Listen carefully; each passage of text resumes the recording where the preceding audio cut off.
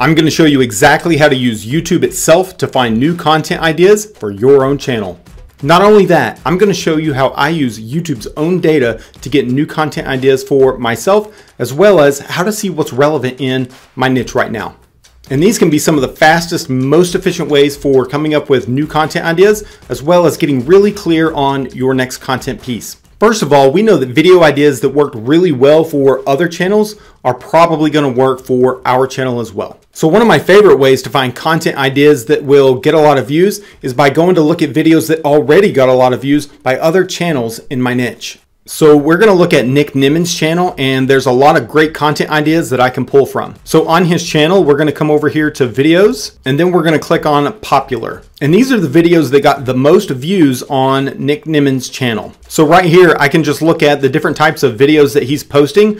So how to add a thumbnail to YouTube videos on iPhone and Android, or YouTube settings you should know about, or these four things will get your YouTube channel deleted. Now, all of these videos have millions of views, so they're obviously great ideas for my own channel. But a great question to ask right now is, are they still getting viewed? And we can find that out through a Chrome extension called vidIQ. And since I have vidIQ already installed on my browser, I can find out with these videos which ones are still being seen today. So this video, how to add a thumbnail to YouTube videos, it says 3 VPH. And if I hover over it, vidIQ says views per hour. So that right there tells me this video is still relevant and still being seen three times every hour. And vidIQ is a simple Chrome extension that you can download for yourself. There's a free version, there's a paid version, and for this example right here, I'm actually using the free version.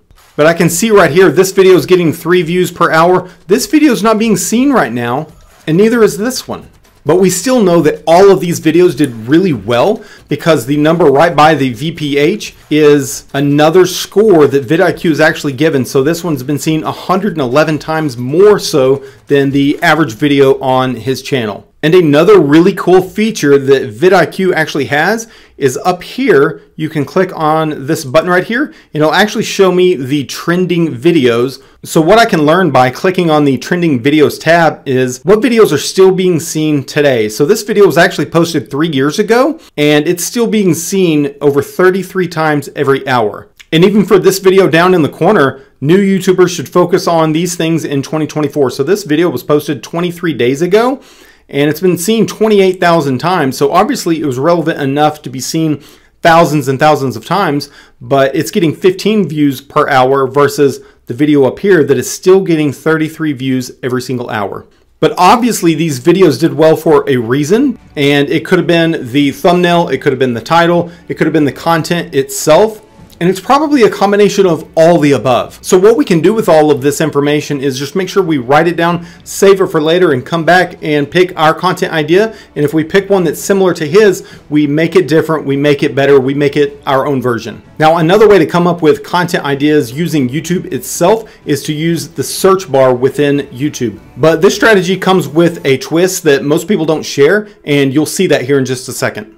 So I'm just going to come up to the search bar itself and I'm going to type in one or two of the main keywords for my channel. Now once I type out a couple of keywords for my channel, so content ideas for example, YouTube's actually going to auto-populate how they think I'm going to end this phrase. So content ideas for YouTube or content ideas for Instagram, for TikTok, and so on and so forth. But something else you notice are these numbers over here. And so what that is, is actually another Chrome extension called Keywords Everywhere. And what Keywords Everywhere is going to tell me is the volume per month that this is being typed in to YouTube. So content ideas for YouTube is being hit 1600 times a month. Content ideas in general, 8100 times a month. Or for Instagram, 1300.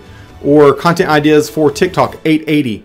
But with the keywords everywhere Chrome extension, it will give me the volume per month. It will actually give me a cost per click and even some trending data over the last 12 months. But here's the key. If people are trying to put it into the search bar, that means they're trying to figure out or learn more about that particular topic, which could turn out to be a great video idea for your next video. Another thing you can do with the search bar up at the top is after you've typed in your one or two main keywords, you can start using the alphabet to see if there's any other topic that's not actually shown in this drop down menu. So you can actually go through the alphabet and maybe I'll type in A and then B and then C It's actually going to give you a whole variety of different topics that may not show up originally. And with this strategy, you can actually go through the entire alphabet. And once you've done that, you can actually come back to the search bar and type in an underscore and then a space. And what that's going to do is show you if there's any searches that are actually showing up in front of your keyword or keywords.